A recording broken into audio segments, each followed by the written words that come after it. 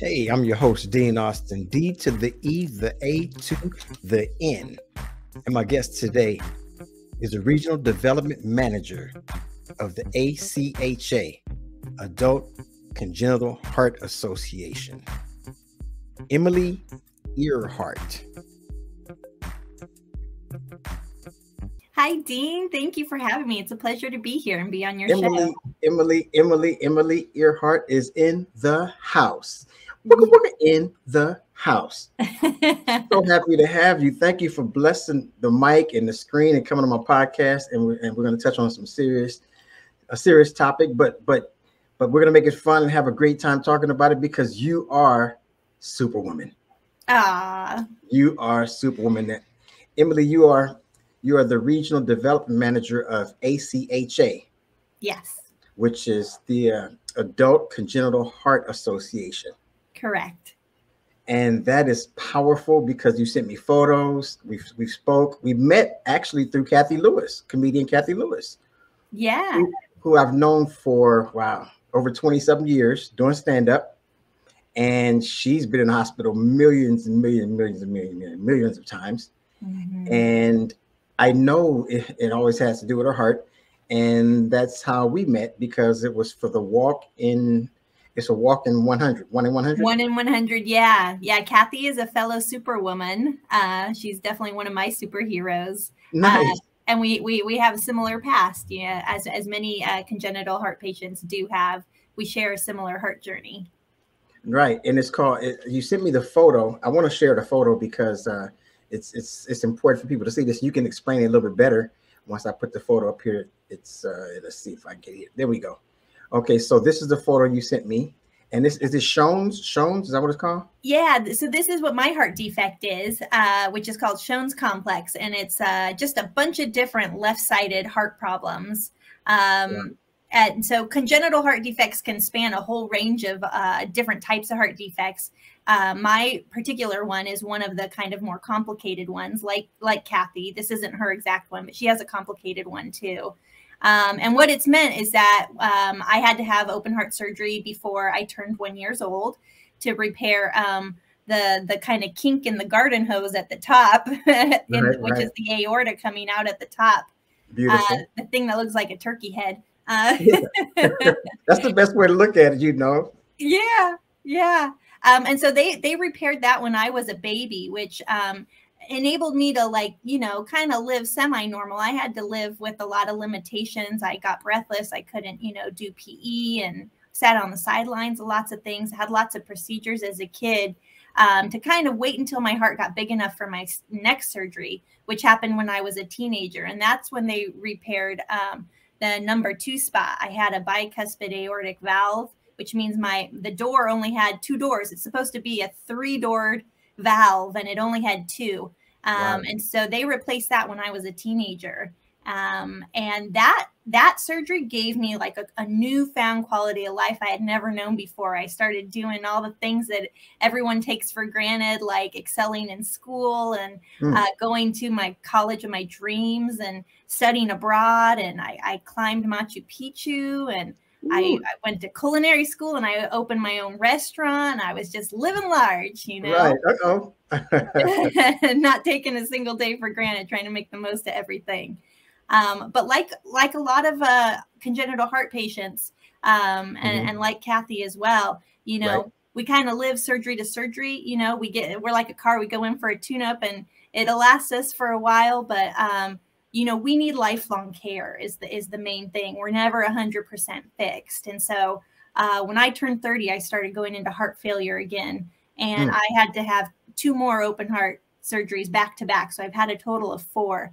Um, and I, I had that uh, pesky aortic valve replaced again, and as well as my parachute mitral valve, which is that I, I can't see what number it is. I think it's number one. Is that the kind of funky little door on the right or on the left? It's the left of the heart, but right on the photo. So um, yeah, I got that fixed, and now I'm officially bionic. I've got two mechanical valves. Um, oh, look at you, Superwoman. yeah, Now, so I got two um two clicks. It's a really cool party trick. You know, when the room gets quiet, I let my heart do the talking.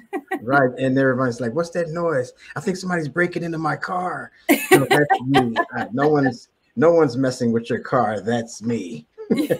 That's just my heart being a superhero. Yeah. Right. That is beautiful. You know, it's it's it's amazing what our heart does. Everyone says it's a pump, it's a it's a muscle, it's mm-hmm. it's all it, it it it makes the blood go where it's supposed to go throughout our body. And it's so important. And it's funny because you said you went to culinary school. Mm-hmm. Wow. So you take it to the next level because not only you it, it, you you work, you have the bionic heart, you went and had the surgery, and now you're putting good stuff in your body through through and teaching people through your culinary masterpieces that you put on the plate in front of yourself and other people.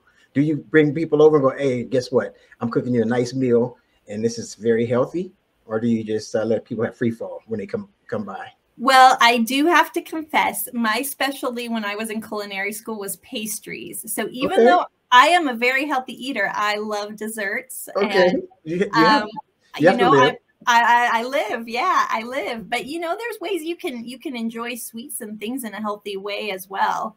Um, I love making, you know, vegan pastries and and things with lots of oats in them, which are heart healthy. And um, so it's and it's all about balance, right? I, I think that's the the most important thing my heart um, defect has taught me is that it's about living your life as long as you possibly can but in in a way that you are living large like you said um in a healthy kind of a way. So it's about balance. Yeah. Definitely about balance. And the tell us a little more about the walk in one one in 100 because i actually was able to go and participate on a rainy day with you and and everyone including kathy and, yeah. met your husband and, and it was amazing. So can you explain a little bit more about it? And i must add you can still donate.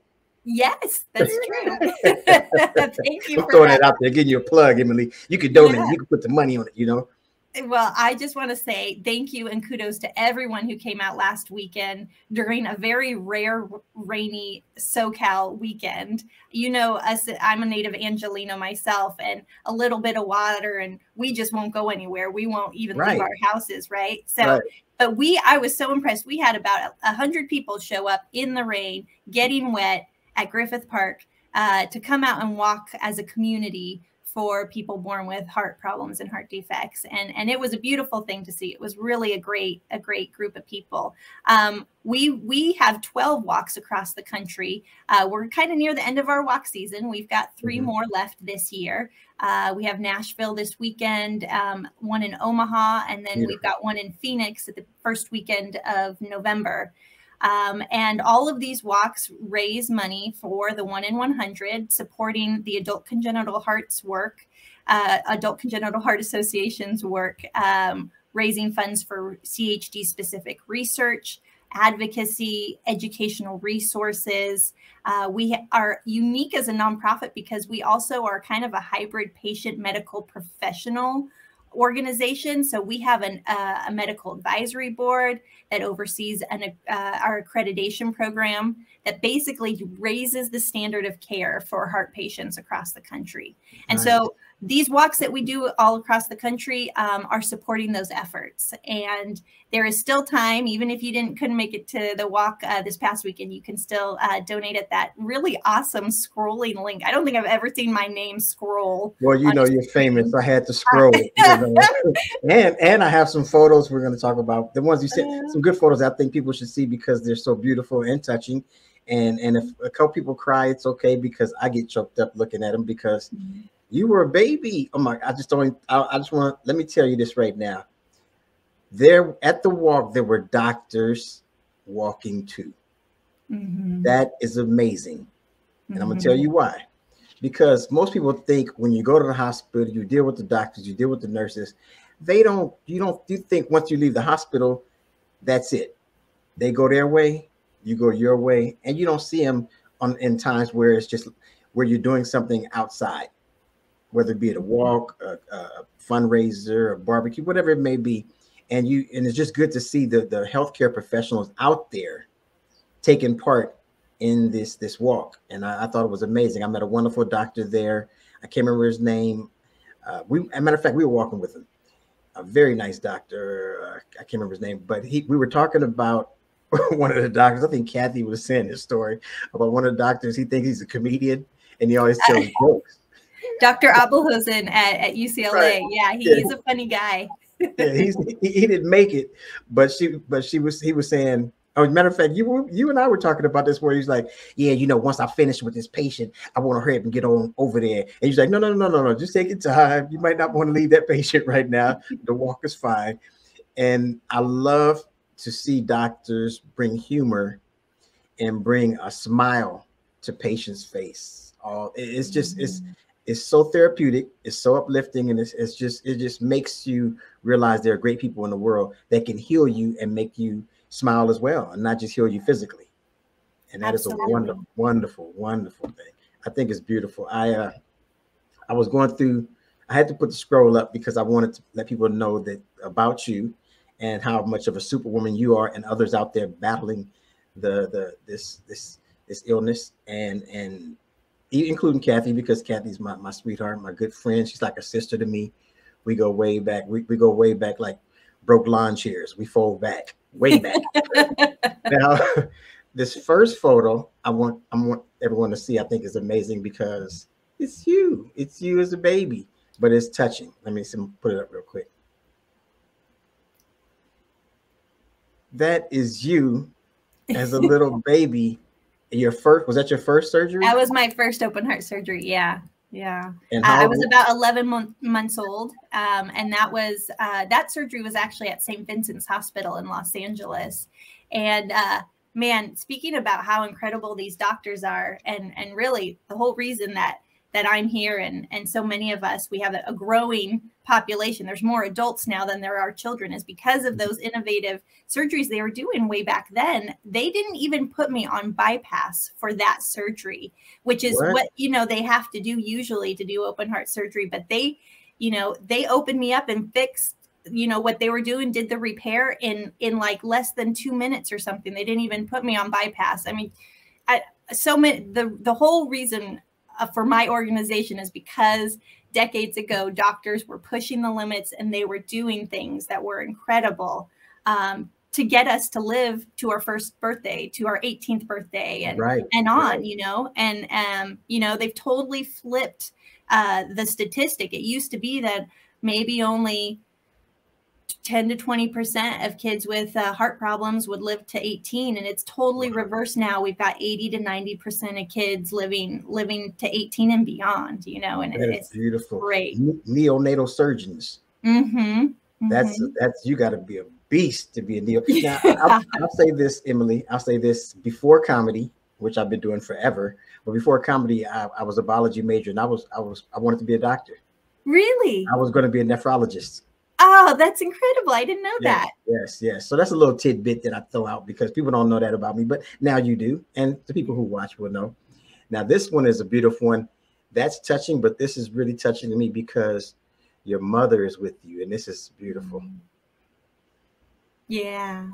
But I I think they're really the, you know, the true unsung heroes in um, most of most of the heart patients uh, storyline are, are yes. our parents you know they're yes. the ones who from day one are our biggest advocate and it's it's it's it's scary for them you know i always used to joke growing up like i just get to go to sleep and have a nice nap and i wake up and see what what the happy ending was you know mm-hmm, i mm-hmm. i i was not a part of those long hours in waiting rooms not knowing the outcome um, our our our parents are really the the stars and superheroes and honestly they continue to be our whole life. Even when we start taking ownership of our our care uh, once we become adults my last surgery when i was 35 i stayed at my mom's house. As she, you should. Nobody you pampered. You start, yeah, the best nurse's mom. Asking right? for everything. Mom, I need this. I need that. Uh, can I have some ice cream? Can I? You you just you know you, you're pushing it, but she loves you, and all mothers love their children. So of course you're always welcome at home. And I met your wonderful mother. She's beautiful. She's sweet. I met your father as well, but I met your mother first, and we talked in depth about not just heart surgery, about about you, about the foundation, about about everyone that was there, people she knew and people I knew, which was Kathy and a couple other people. But we had a blast. She's funny, and here's a picture of you and your a more recent picture of you and your mother, actually.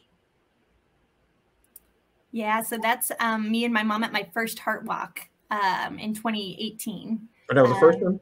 That was the first one that I went to. Oh, okay, yeah. Okay uh, yeah, that I, you know, um, I wish I had known about this large community of heart patients that are out there, but it still blows my mind that living in a suburb of, of Los Angeles, I didn't know any other heart patients until I was over 30. But um, yeah, it wasn't until I went through my last surgeries as an adult that I found the Adult Congenital Heart Association, that I learned about the Walk for 100. And I realized, oh my gosh, I'm not alone there's so many people out there who have gone through very similar experiences as right. I have. Um, and I'm not alone. You know, we we often, you know, I think most people who have chronic illnesses kind of live. They're the only person like themselves in their life that they Correct. know going Correct. through what they're going through, and so we, we we stay in our heads and we feel really alone. Um, but it but thanks i guess a lot in part to the internet and we're able to connect so much more easily now. And um, it's it's really therapeutic and affirming to come together as a community um, and and to validate each other's experiences and support each other as we go through the the roller coaster ride of a lifelong chronic illness. Right right. And we and we as human beings we sometimes like you said you think it's just you. You think it's just mm-hmm. you and the journey by yourself and there's other people out there. Now as a baby did you were you were you were you ever afraid or you just went through the you just really didn't have a, have have fear? Like some people have fear when they're babies and they go well i don't know what's going to happen if i'm going to wake up or you know if i'm if it's going to get better. There's certain things that run through your mind. I mean as a child i would imagine there would be some kind of fear but you said you would wake up and be like oh let's, let's see the outcome. But what kind of what kind of baby were you? Were you the kind that was like a worrisome baby or were you the kind of baby that was like, I'm gonna go through it and I'm just gonna smile and, and wake up and see what happens? I think I was pretty fortunate. I was always very positive. I always just kind of assumed that the best thing was going to happen. I, I, think once I became a teenager, I was more aware of of the risk involved and that something bad could happen. Um, but I don't know. I don't. I don't. I didn't. I didn't. It didn't cause too much anxiety. I didn't like worry Good. about it. I think Good. maybe subconsciously um, I did, and probably I think I worry about it more as an adult now. I think kids right. are a lot more carefree and oh, resilient. yeah, know? that's beautiful. yeah, as adults, we always we are we're always aware of our mortality. When you're yeah. a kid, just be like, I'm gonna jump off a building head first, and I'll be okay, you know, and and don't think about it and get up, and you will hurt, you will fall down. And, but as an adult, I, I used to do this joke about how as an adult, when you fall down, you you lay there for a minute you don't get up. You just kind of look around, see who watching you, see if everything is hurt or anything broken. Then you go, okay, I can get up now. You don't you don't just jump right back up, but a kid, you just jump right back up. Right. And and that's the same mentality. I I, I really that's what I love about kids. And I, I the mm-hmm. picture of you, the pictures of you in the hospital are so touching to me because there's so many babies out there like that, and we aren't aware of it. You know, mm-hmm. we aren't aware that there are others out there just like you with the same illnesses because you you almost like you're in your own world. It's like it just happened to me. Mm-hmm. And you go, well, I'm not sure why it happened to me, but I'm gonna live with it. I'm gonna fight through it. I'm gonna be positive, and I'm gonna keep going. And then you find out, oh, there's a whole community, and that's the beautiful thing about it. And that's why I love being a part of the walk walk for one and 100. And when I met you, and and, and I'm happy Kathy brought me out because Kathy said, 18, you know how Kathy talks, 18. I want you to, I want you to donate. It's from my heart. I said, for your heart. I said, okay, all right, I got you. Okay, this is the link. So I, I donated. Then then she hit me up. Thanks for donating. You gonna walk? I said, walk where? said, you walk for what and 100. I said, I gotta walk 100 miles. She said, no, no, stupid. You gotta walk. Just it's just a mile. I said, okay, all right. And then I forgot. I ain't gonna lie, I forgot. Then the day before, yeah. She's like the night before. She's like, hey, mm. are you coming to walk tomorrow? I said, I got to walk tomorrow Saturday. And then I didn't know it was going to rain. I didn't, I didn't look at the weather. And I thought, no, I'm not going. Did I say, what? I'm going. I'm going to be there. I'm going to be there for Kathy. And, and I'm happy I did because I actually, you know, met some wonderful people like yourself and, and other people there. And it, it's, it just felt good to be a part of something that's positive and that can help others. And I've always been that way. I've always been a caring, giving person and trying to do right and trying to do for others. So, and Kathy is one of my best friends in the business because we started doing comedy together, open mic back in San Francisco, open way back in the day, riding the car from gig to gig. And it was just, we just, we're, we're brother and sister. So I had to be there. So it was wonderful. And speaking of that, I'm going to show a picture of you. And this one is, and people don't, okay, so as a baby, you were in the hospital. And like you said, it's continuous. You have to, you have to stay on top of it. To on top. So this is a picture of you as you became an adult and you're in there with a smile on your face, which you know, it's looking at the baby, looking at the baby with the little pacifier in the top. It's so cute because you know the pacifier is above your head, and then I get then we get to see you as an adult, which is amazing. This is a good picture. I like this picture. That's yeah. nice. Uh, the the funny thing with that that was a 2017 surgery I had and from when I became bionic and um and when I came out uh we didn't know if they were going to replace one or two valve valves um and so when I came out I was still intubated they were wheeling me out of the OR and you know I was super mm-hmm. like drugged up and groggy and I just kept holding up like one or two, one or two, like like tell me, tell me. I want you to tell me. Did you do two? And they told me, uh, yeah, we did two. We replaced both of them, and I was like, yeah, and I was like giving high fives and and they're they they told me later they're like we've never seen someone so happy come out of the OR. You were like high fiving everybody. Uh, Other so patients happy. were like, "What is she doing?" She's happy to be in the hospital. uh, that is amazing, and I got to meet the love of your life, your husband. Very nice guy. He's he reminds me of a comedian friend of mine. I actually saw him the other day at the comedy store. His name is Kirk Fox. Oh yeah. You, you ever see him? He's a very funny guy. And no, uh, I have to look him oh, up. He's funny. He reminds me of tall, slim, and just really, really good human being. So mm-hmm. the guy is hilarious. So this is you, you and your husband. I, the the the non Kirk Fox or the Kirk Fox lookalike, Kirk Fox twin. Yeah, so uh, Ryan and I have uh, been together for about 20 years now because we met in college, and okay, uh, me, we've been married for 10. Let me stop you. Let me stop you. Say that again. How many years? We've been together for 20 years.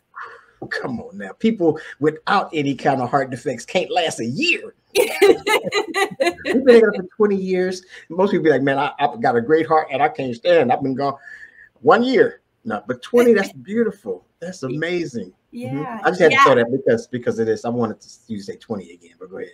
Thank you. Thank you. Yeah, we've been married for um for 10 and um, it wasn't it was really uh, right after we got married when he first went through my first big surgery with me. And i was i was really scared and nervous you know like you know i have my whole family who's gone through everything from the beginning with me and i was really worried like i was more worried about him and how hard it was going to be on him when I went through um, that first surgery that we went through together. And he was a rock star. Like he was cracking jokes with all the nurses. That I mean, so like cool. what you said about humor really being um, an incredible medicine. Um, really I, I, knew when he was like making light of everything and, and, in a in a good way, you know, that made um, mm-hmm. joking about all the different kind of medical things and the things right. you have to deal with in the hospital. And um, I just knew, okay, he's going to be okay and uh, yeah. he's he's just been part of my the rock upon which I you know I have as my support system throughout my health journeys, and I'm just now, so grateful.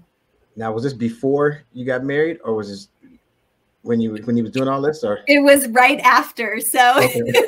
luckily, he was kind of roped in. But right, he's like, I can't go nowhere. No. That's wonderful. I love it. I love it because we need support, that kind of support, mm-hmm. you know, where someone can be there for you by your your bedside and, and through those trials and tribulations that can mm-hmm. make you laugh and that can keep you smiling in times that are, are, are really dire and detri- detrimental to your health and to your life. And you, you don't know the outcome. You really don't know the outcome, but you believe and you stay positive and you keep going. And with that other person being positive, it's a wonderful, it's a wonderful, wonderful thing. And I love to see, I love to see people like that in relationships whether they're at the hospital or anywhere, but especially at the hospital. Uh, it, it's I think it's I think it's magical. I think it's magical. So you guys have a really great relationship, and and you like you said you you travel, and I love the fact that you sent me a picture of you out there getting it in, and I was like, oh, she out there. People have to see this. I mean, that yeah. is amazing. That's amazing. Yeah, that's a Giant's Causeway in in Ireland, um, and uh, uh, my husband and I actually lived abroad. Uh, he he was abroad for about seven years. I was I was living abroad for about three with him. Um, but we traveled all over Europe, and um, I mean, really, again, just kind of living as as big of a life as we could, seeing the world and experiencing things. Um, we were both very adventuresome people, and I think for me, a lot of it does stem from my early childhood experiences, being in the hospital a lot, and just wanting to make the most of of every day and every opportunity and just figure out a way to to do it you know right, uh, right. see the world and make it happen what were some of the other foundations that were there that that that particular day on, on the walk there was one that was corazon yeah and, camp and del corazon oh, uh, corazon. I love, I yes. love it corazon because you know and i tell people all the time if you say see you could tell you you you actually call the right place because they go tú eres mi corazón. They mean, I love you, you my heart, right? But yeah. if they call and you say, hey, uh, you got the calzones, that's different. That's calzone is not calzone. So you got the wrong place if you called and they say calzone. Because yeah. that food, right. it really ain't, it's not good for your heart to eat too much of that, but it's good stuff. But that, but I, I like that you have those other other organizations that are involved and they were there. And that yeah. one stuck out to me because I think you said it was Catalina. Is that where? Yeah, yeah. So Camp del Corazon is um, a heart camp for kids, hmm. um, and it's held every summer on Catalina Island.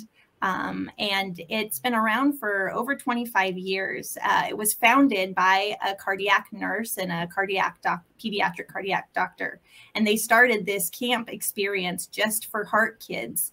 Um, so that they could get the experience of being just being a kid, just living like a normal kid, you know, um, because of our restrictions that we often have um, in childhood, we kind of have to sit on the sidelines a lot.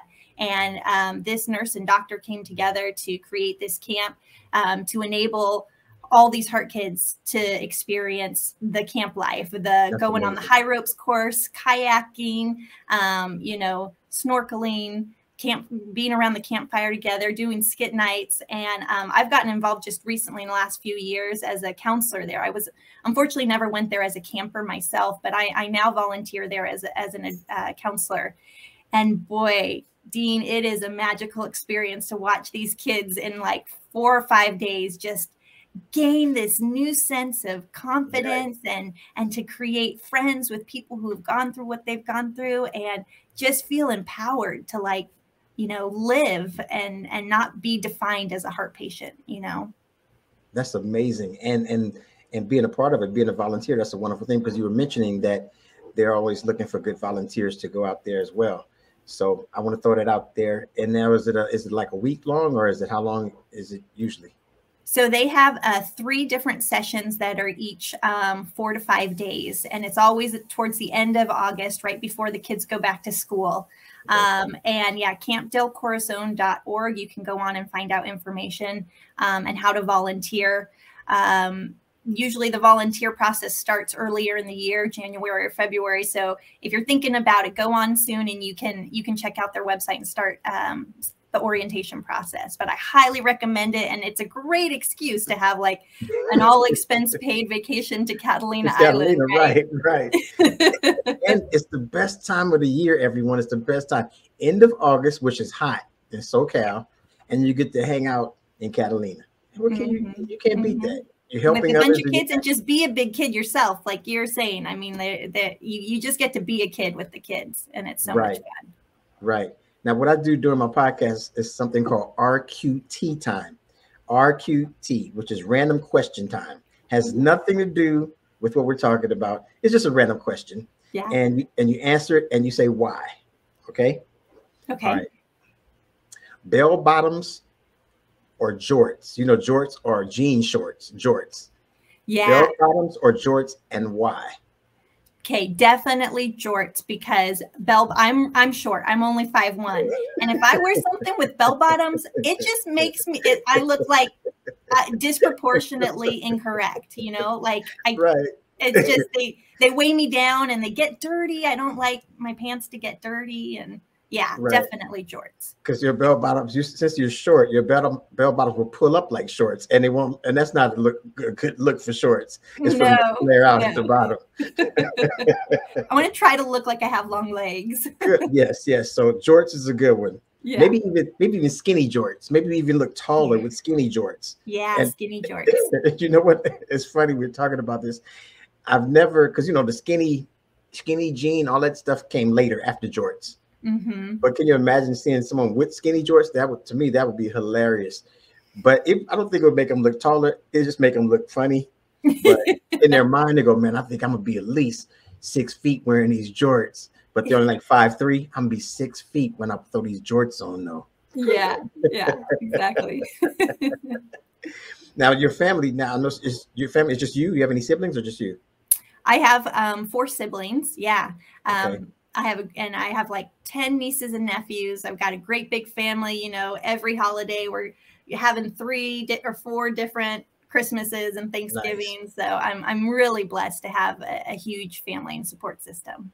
Nice, nice. That's it's that's beautiful and, and, it's a wonderful thing to have a great support system when you're going through what you're going through anything, especially what you're going through went through or going through in your life because it's so major. It's not like it's not like somebody getting their appendix taken out. It's, it's deep. It's really even as an adult, I can only I can only imagine how the surgery would be because as a mm-hmm. neonatal surgeon, it, believe me, that's a beast because you got to be in there working with babies. Mm-hmm. But even for adults, it's not easy to to do what they're doing to take mm-hmm. care of you. Mm-hmm. Believe me, I'm sure of that. It's not like they go, oh yeah, we're just just snap this here and put this here and you can go. They have to really know what they're doing. So yeah. it's good to have a good doctor. And I will say this: I believe Kathy's had some really great doctors because she's been going for years, ever since I've known her. And and I I didn't know the magnitude of it when we were back home and back in Northern Cali, coming up as young adults. I didn't know the magnitude, but as we've gotten older, I realized it's not It's, it's pretty intense. Mm-hmm. Pretty mm-hmm. intense. Pretty and it intense. takes a village, like you saw at the walk. It's uh, it's the doctors and the medical professionals all coming together with the family. It's you know everyone's invested, everyone's all in, and and right. the only way you get through it is if if we do it together as a community. Right. Now the picture that I didn't show that I love is of you with food. I, I am a little food obsessed. With with food. Now tell us more about your culinary because that plate, that plate looks good. plate looks good. It looks healthy. No, it it's not healthy. it's not, I, thought, I thought it was like I thought it was was it pastries or was it food? Yeah, I think they were all little like uh bite size uh you know like desserts, little You know what desserts. I thought it was? I thought there was some healthy potatoes. No, little, no, little they potatoes. were all sweets. now, now, does your husband? He loves the sweets. Well, you know that's a funny thing. When I first met him, he did not have a sweet tooth at all. Oh, he did not like sweets, but I successfully you messed him, him. up. Yeah, and so now I, you know, he's like every night, like, oh, let's have a little scoop of ice cream, and you know, he he loves you know good sweets, not good not the you know, right, heavily I, processed, but homemade sweets. I'll give you a good sweet sweet item that I found out recently at Trader Joe's. Mm. There's a, you know you know the, the creamsicles, the, the orange creamsicles we had as kids. Mm-hmm. They have a mm-hmm. mango one. oh my gosh. It's fresh. It's so fresh. It's so good. It's it's a it's it's a beautiful treat. It's refreshing. Yeah. yeah, I'm a big fan of a lot of the desserts that Trader Joe's has. Their ice cream, their cookies, especially around the holidays. They're all their Christmas cookies. Oh, I love them. So good. They, also have a cinnamon sugar bun twist. Oh. And it's, oh. it's a it's a loaf of bread. It's to die for. I, it might still be there now, but you run over there, you can get it. And what you do is you cut it real thin and put it in the toaster and put a little bit of butter. Mm. It's the best mm. thing ever, ever. Yeah. Yeah. You know, so there's there's a lot. They do have a lot of good things, but I'm glad you converted them. Yeah. Because it's important to convert the people to the good stuff. Mm-hmm. Mm-hmm. You brought him into the drug house. Yeah, we got pastries in here. Come on in. And he's like, okay, try this right here. Okay, try this. Next thing you know, you, you step back. He's like, uh, can I get some pastries? I thought you didn't like pastries, but you brought me in. Brought me. I'm, here, I'm here to stay. I'm here to stay. That's some right. people, some people are salt people, salt people. and some people were sweet people. Mm. Some people like salt, chips, and stuff like that, and some people like sweets. Mm-hmm. But my family is all about have always always been about sweets. My father, mm-hmm. everyone is all about having keeping. I, I don't even keep ice cream in the refrigerator. I do have the mango because it was given to me as a gift. I have the mango bars right now, but I don't keep ice cream in my freezer. But my family all year round, ice cream, ice cream, ice cream, ice cream, ice cream. I, they, my father's an ice cream. He like he loves what's it called? Uh, banana nut ice cream, right? Ooh, it's very good. Yeah. But, but, we couldn't eat as kids because he was like, Y'all can't eat this because it ain't good for you. But he only did that because he didn't want to share. Y'all can't it ain't good for you. Don't eat that ice cream. Go to bed. Don't eat the ice cream. And we'd be like, why is he keeping it? It must, why is it not good for us? But he's loving it, right? but as an adult, we tried it and we realized, oh, he didn't want to share. This is some mm. good stuff. Mm. So my father, when we were kids, The Exorcist, when it first came out, my father was like, nothing keeps me away from my ice cream. I can eat ice cream through anything. I got a stomach of steel. And then the, when the Exorcist came on and the girl spun her head around and spit out the soup, he said, oh my, I got to put this ice cream away. I was like, I thought you had a stomach of steel. I can't eat that nasty that stuff shot out that little girl's mouth. so yeah, I uh I I know one thing. I've been that I work out every day and I and I I, I try to keep a pretty clean diet and eat mm-hmm. right, cook a lot. Mm-hmm. I don't eat a lot. I don't eat fast food hardly ever. Mm-hmm. So I'm always on top of my game. But and people say they work out for certain reasons. Some people actually work out so they can't eat what they want to eat. You know, that's how it mm-hmm. You know, I go to the gym so I can have a piece of cake. You're like, really? Yeah. But that's the only reason you go? Yeah, I go because I have a piece of cake. I love the good stuff, but I also love to work out. And I will say this that with with congenital heart failure, I was happy to see people moving because even with little exercises you do put in is good for you. Mm-hmm. Movement mm-hmm. is powerful. Absolutely. Movement is important. There was a, a, old lady sitting next to me on a plane, and she said this, and I'll never forget this. She said, "Motion is lotion." And I was mm. like, wow, that is mm. so sweet. She was about almost 90, 90 something years old. And she said to me, Do you remember? She said, I move like this because motion is lotion. In other words, keep moving, don't stop. Yeah. So, so it's very important. So we when we were walking and I was looking at the people and everyone walking, I'm like, this is beautiful. And it was raining. So most people don't want to come out in SoCal when it rains. We know that. So it's it was beautiful to see people out, like you said. Mm-hmm. And if you need to stop and take a breath, a breather, you just do it. Mm-hmm. But you just keep, and then you just pick it right back up. Don't push yourself. You ain't got to force it. Just enjoy it. Exactly. Remember, remember you said when you stop, pick up a stick. Yeah. Act like you're doing something. Hmm. Yeah. Nice, that was my trick growing up was always like, oh, I'm just stopping to smell these flowers. I'm just stopping to check out the bark on this tree because, you know, really I'm trying to catch my breath. But right. that's the thing. You just you do it at your own pace. That's the thing. It's like exercise is so important. Even if you have a, a heart heart condition you know you got to it's still a muscle you got to work it you right. got to keep it in shape you know right. and so as long as you keep doing that within within your means you know within your ability and capacity and sometimes that means going slow or, or mm-hmm. picking up a stick and looking at stuff uh, you just you got to keep doing it because yeah, motion of, is lotion i love it yeah motion is lotion a friend of mine his friend has a problem with his heart but it's the flap or something mm. and the blood is going. I don't, I don't, know what it's called, but it's going in the opposite direction. It's going. Okay. It's, coming back in. So I'm, you know, my my my my prayers to him and his family because it's not that's scary and he has to get it fixed. So mm-hmm. I hope that he will tune in and some other people tune in and will see that it's necessary to take care, take action and do these mm-hmm. things and don't be afraid and don't be mm-hmm. afraid to go and get it done. We know mm-hmm. it may mm-hmm. not be cheap. There's always ways to get it done. But mm-hmm. at some point in time, you have to do it because it's you only have one heart.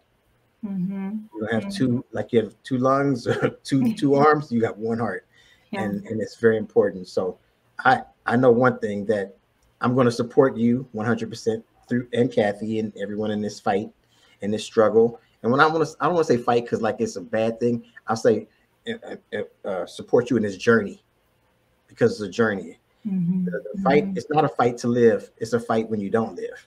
Mm-hmm. So you have to remember that you always have to enjoy the journey, whatever the journey it is. So I'm I'm down like four flat tires.